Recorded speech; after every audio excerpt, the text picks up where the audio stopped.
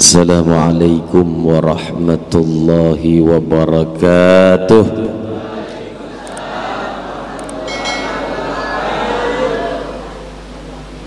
بسم الله الحمد لله الحمد لله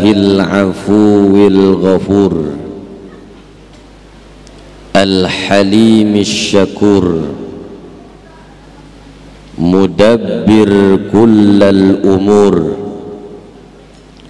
اللهم صل وسلم على سيدنا ومولانا محمد الذي أنزل عليه الدستور وعلى آله وأصحابه hum ja'u bil huda wan nur. Amma ba'du. Hadratal mukarramin wal muhtaramin. Para segenap habaib asatiz tokoh masyarakat.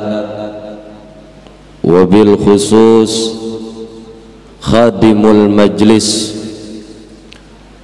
Bapak Ustadz Ali Rahmani. Haji Rahmani. Ya maklum salah nyebut orang baru pertama kali ketemu. Ketemunya juga di bawah puunan makan ketupat. Eh disuruh ngomong ini.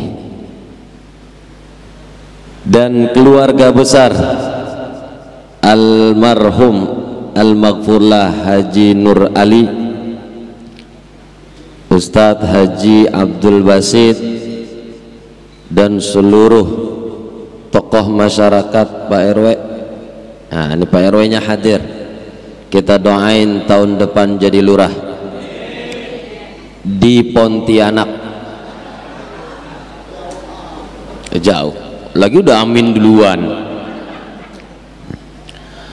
seluruh asatid ya tadi katanya nanti ada Kiai Fikri Haikal. Nah, pasti ibu-ibu nungguin penceramah yang kedua. Bapak-bapak juga nungguin penceramah yang kedua ya pak ya? Betul pak? Nah, jangan Kiai TV lah saya masih si TV masih pak Hadirin bapak-bapak, ibu-ibu, saya doain bapak-bapak yang hadir mudah-mudahan jadi orang-orang yang istiqamah. Istiqamah istri tiga dikontrakin rumah.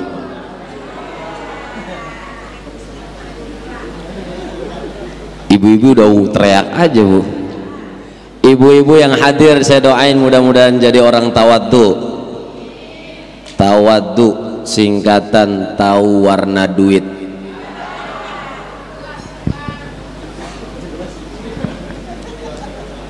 Hadirin hadirat mudah-mudahan yang hadir semua diberikan keberkahan oleh Allah subhanahu wa ta'ala. Rasa-rasanya udah malam ini ya. Ya udah malam ya? Lanjut apa enggak ini lokan gue baru ngomong suruh udah. Nah Nabi sallallahu alaihi wasallam dalam hadis riwayat Imam At-Tabarani bahwa Jibril datang ke Rasul dan berpesan tiga pesan penting. Saya ngomongin tiga aja ya. Saya mau ngomongin tiga pesan satu kata na, kata Jibril ya Muhammad ish ma syi'ta fa innaka mayyitun. Wahai Muhammad hiduplah seterah anda. Seterah apa? Terserah Hah? Terserah apa seterah? Hah? Kalau orang kampung kan nyebutnya seterah. Isma syi'ta kata Jibril ya Muhammad hiduplah terserah anda. Mau hidup poya-poya silahkan. Mau hidup ngumpulin harta silahkan. Mau hidup ikut pengajian silahkan. Enggak ikut ngaji juga silahkan. Terserah kata Jibril. Fa innaka mayyitun. Tapi ingat sesungguhnya engkau semua akan meninggal dunia. Kita ini dibebasin buat hidup bu. Bu. Bu. Masih hidup? Pak kita dibebasin hidup kata Jibril pesan kepada Nabi Muhammad. Terserah mau hidup model kayak apa. Terserah mau hidup sesuka kita mau hidup sedemen-demennya kita terserah. Mau duitnya banyak terserah. Mau duitnya dikit terserah. Lu mau sholat terserah. Lu kagak sholat lu mau ngaji lu kagak ngaji jangan giliran mau hajatan lu ngaji ada yang begini modelnya. Ini kan kagak pernah nongol kagak pernah kelihatan. Eh lempengan mau bikin hajatan dia nongol. Ada yang begini? Mana dia orangnya? La ilaha illallah. Terserah lu kagak mau ngaji juga menribet orang kalau kagak ngaji mengundang kan susah jadinya iya benar apa enggak benar apa benar Cuman kalau orang istiqomah ngaji kan alhamdulillah dia sering kelihatan di majlis taklim Nur An-Nur. Jadi orang mau ngundang juga nitip ama MC atau khodimul majlis enak. Coba kalau dia nggak ngikut ngaji, lu sampainya mau khodimul majlisnya gue nitip jamaah An-Nur biar pada datang besok. Diterima apa enggak kira-kira yang begitu? diterima apa enggak? Fa innaka mayyit. Ketahuilah kita boleh bebas hidup. Kita terserah memilih kehidupan. Tapi kita semua akan meninggal dun akan meninggal dunia. Ini kan kita semua pada tahu bakalan mah bakalan mah mati. Yang tua mati yang muda mati. Yang cakep mati yang jelek apalagi? Jamaah mati ustadznya? Belum. Mati kita semua tahu kita bakalan mati. Cuma perkaranya kita semua udah sejauh mana persiapan kita menghadapi kematian. Kullu nafsin dha'iqatul maut. Semua yang bernyawa pasti akan mati. Mati kita semua cuma kita nggak tahu kapan kita akan mati maka orang yang cerdas kata Nabi mereka yang mempersiapkan amalnya untuk bekal menghadap Allah nanti. Alhamdulillah. Mudah-mudahan bekal kita ngaji begini nanti dikumpulin lagi di sorga sama Allah. Ya Rabbal ya Rabbal alamin. Mati kita semua orang kalau udah punya persiapan itu mau menghadap Allah enak. Kita ini bakalan pindah tempat pak. Bu. Bakalan pindah tempat. Orang kalau pindah tempat saya ini orang Cangkareng bu. Saya dari Cengkareng pengen pindah ke Cipadu kagak bawa apa-apa. Diterima apa kagak? Diterima apa kagak? Kagak coba kalau saya dari Cengkareng bawa duit sekoper ke rumah Haji Basit. Ditanya sama Haji Basit. Bawa apaan Ustadz itu? Bawa duit. Udah nginep sini aja nginep. Le bawa duit. Diterima karena ada bekal. Coba kalau kita nggak ada bekal bagaimana menghadap Allah nanti?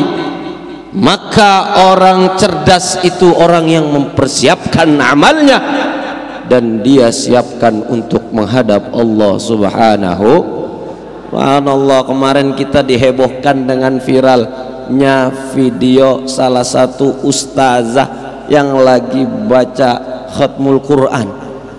Ya di uh, Kiai Abdullah Syafi'i majelis masjidnya itu.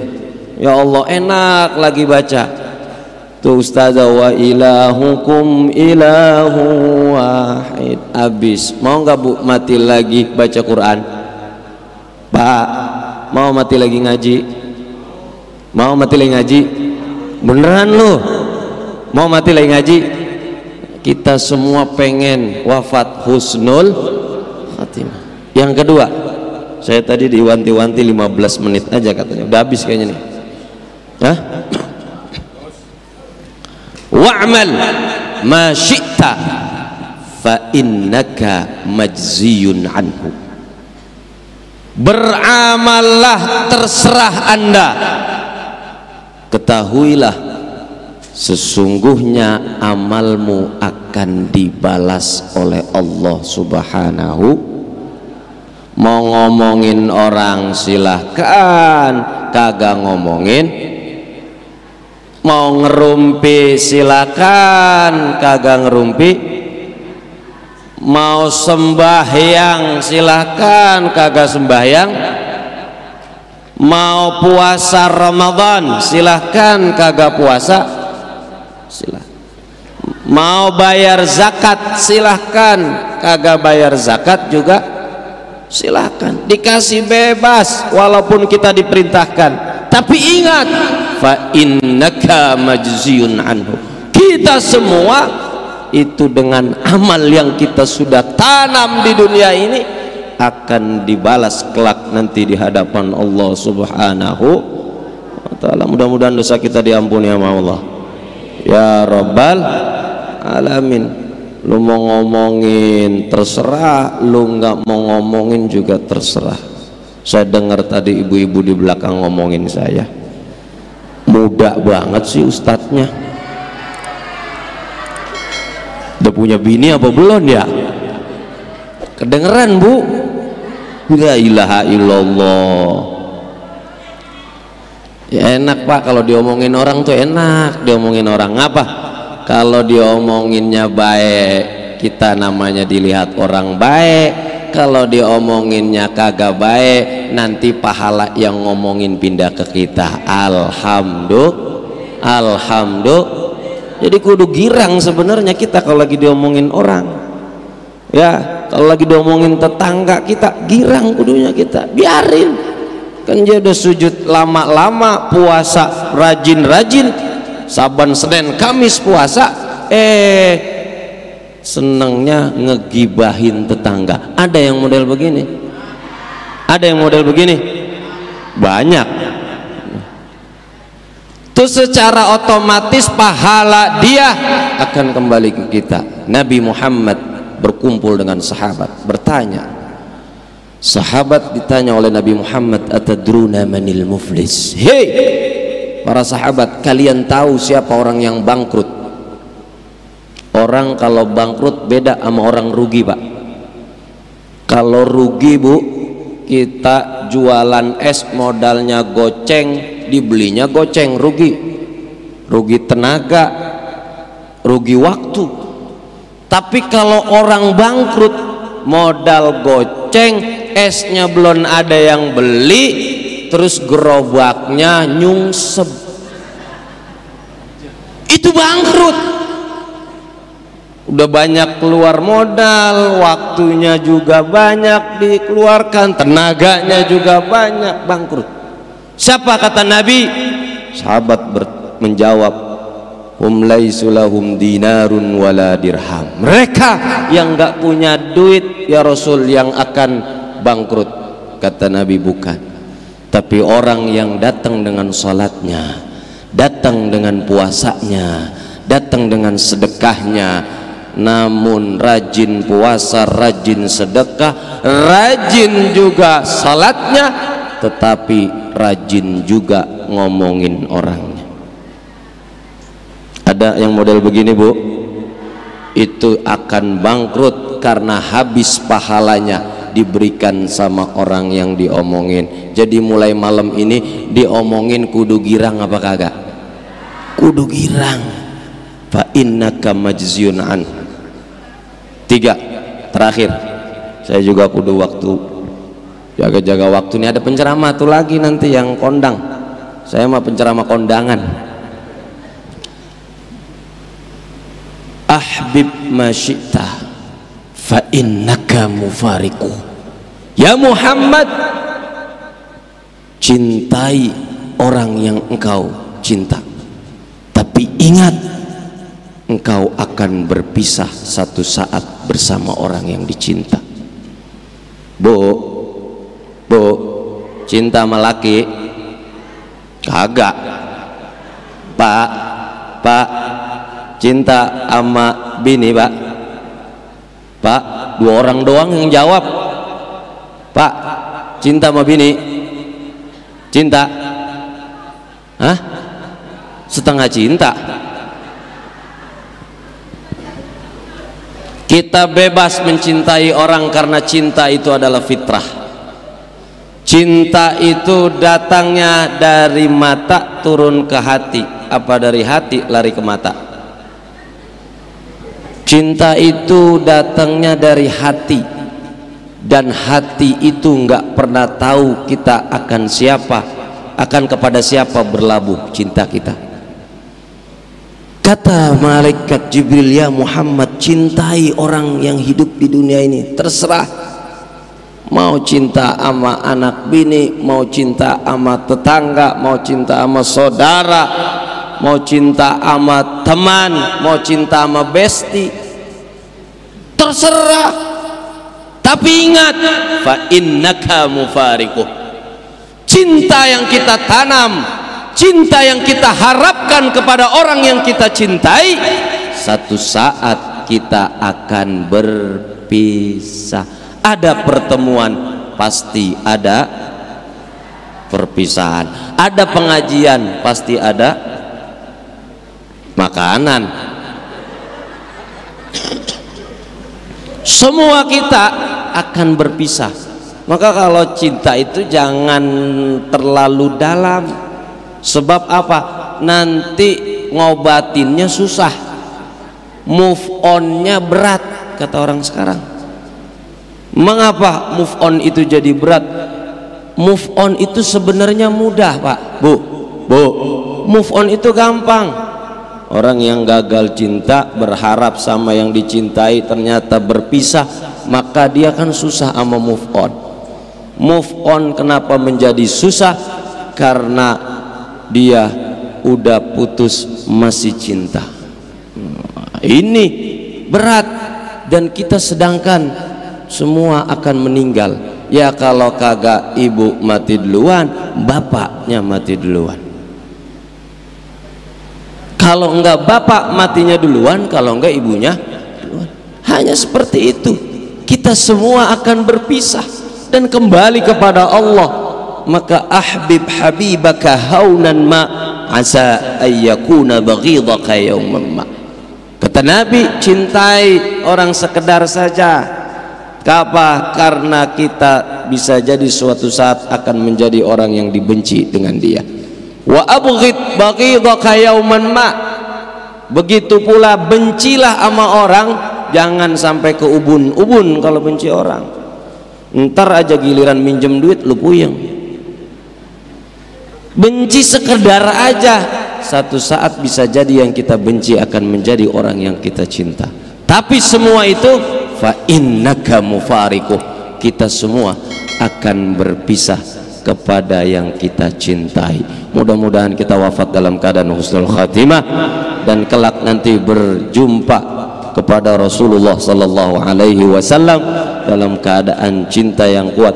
Kita berada dalam barisan di bawah bendera beliau. Amin. Ya rabbal alamin. Kurang lebihnya mohon maaf karena masih ada penceramah. Atau lagi saya khawatir kalau terlalu malam ngomong nasi jadi rengginang nanti. Wassalamualaikum warahmatullahi wabarakatuh